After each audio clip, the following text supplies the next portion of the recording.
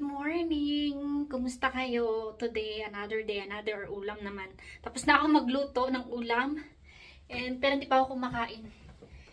Naligo muna ako kasi ang malamig tapos mainit. Ayun. So, dumating na nga pala yung husband ko guys kahapon. Kahapon siya dumating. At sobrang pagod na pagod siya. Kawawa naman.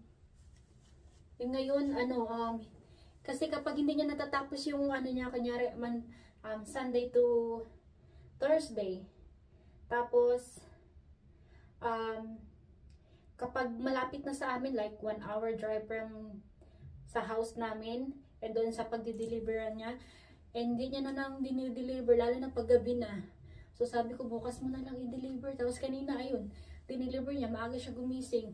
And nung dumating siya kahapon, sobrang pagod na pagod niya, kawawa. Kawawa naman. Pagdating niya, natulog na siya, hindi na siya kumain. And then, nagnap siya ng isang oras. Tapos, ayun, gumising. Kumain ng pizza. And then, nanood ng movie. Sobrang pagod, kawawa naman. Siguro ma...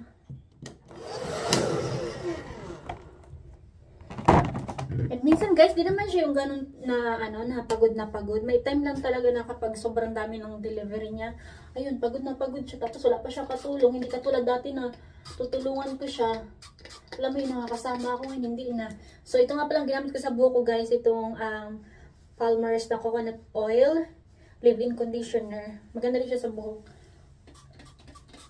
Hindi ko siya lagi ginagamit. Minsan pag-drip lang. Pag-trip ko lang siya ginagamit. And kawawa niya. Naawa ko sa kanya kahapon. Sobrang pagod niya. Ganun talaga. Lalo na kailangan magsipag kasi, ayun, may baby na.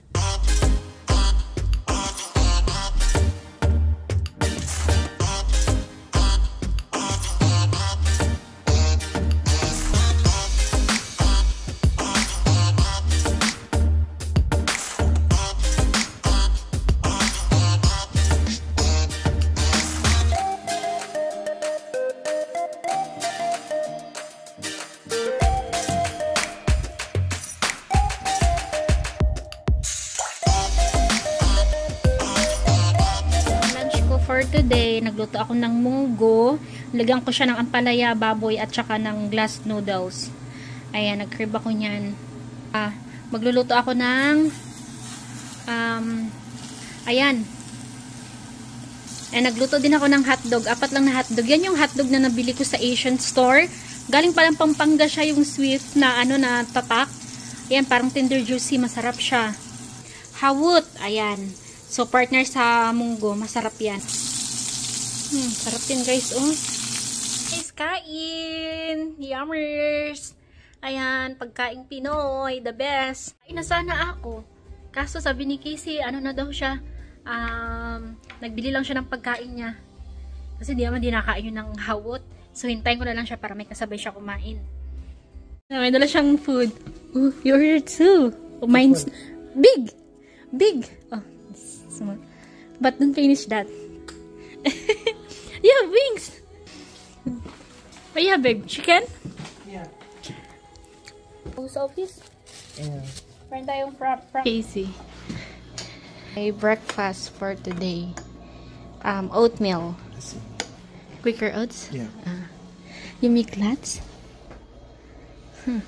Interesting. Yan ito ang aking breakfast, guys. Oatmeal. Sarap. Sarap na luto ni Cassie. Sarap mo siya magawa ng oatmeal. Kaya sa akin. Hindi, put cinnamon. Mm.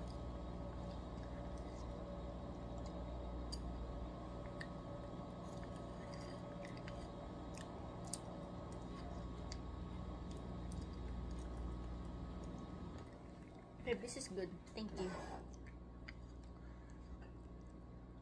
This is good than mine. Mine. But did you use oats or the Quaker oats? both oats, babe. I know. I mean, old or the Quaker. Quaker. Why? It's good. Why mine is different? Did you use Quaker oats? No. Old.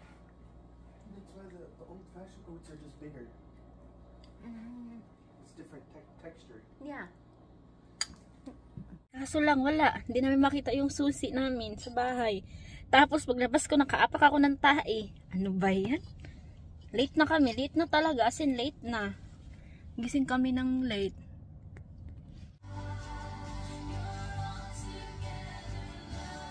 Nagluto si Casey ng meatballs. Kasi yun yung isa. Ayan. Meatball to namin. Pero hindi pa yan tapos. Habang nanonood ng TV. Yung si Casey boy. Ano.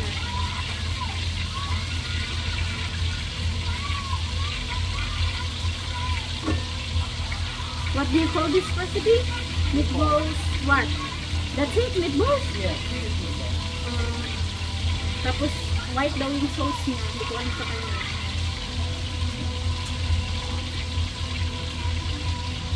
Other than the... Dami namin meatballs, guys. Nagtitinda siguro ko si Cassie. Hindi na. Yan, yan.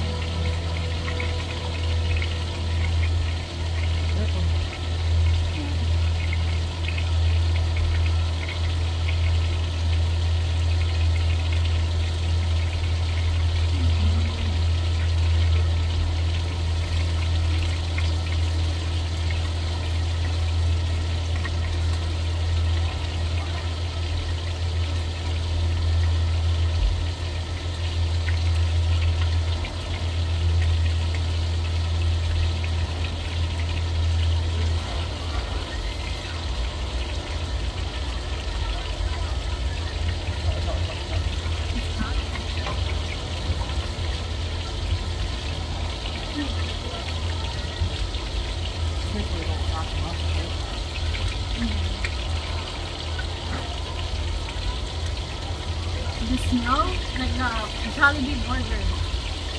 The smell of the, the meatballs.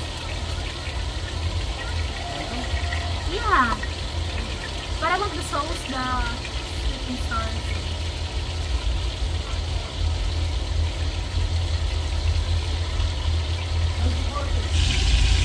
Ang bandami. Meron pa doon.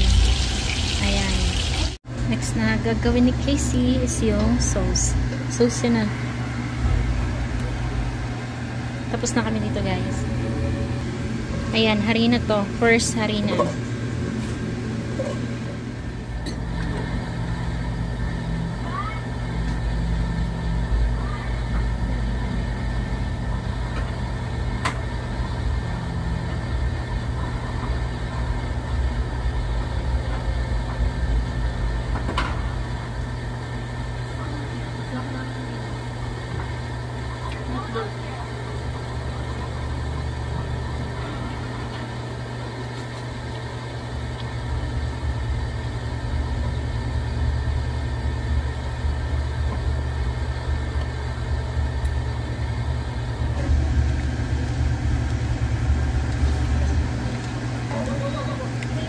Next, nilagyan niya yung evaporated milk. Kasi kami na, dami ko pang hugasan.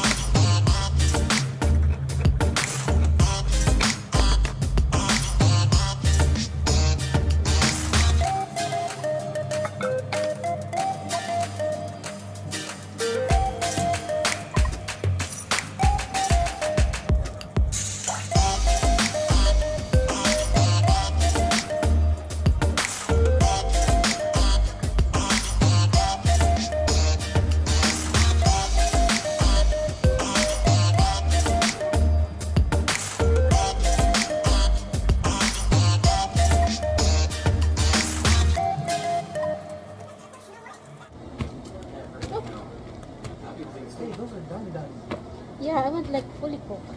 It is fully cooked. I mean, Overcooked. done.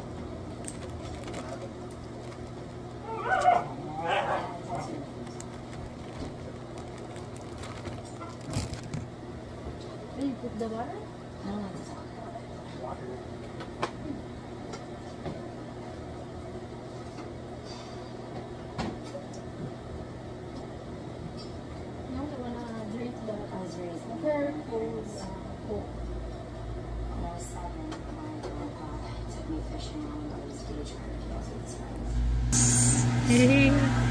looks yummy.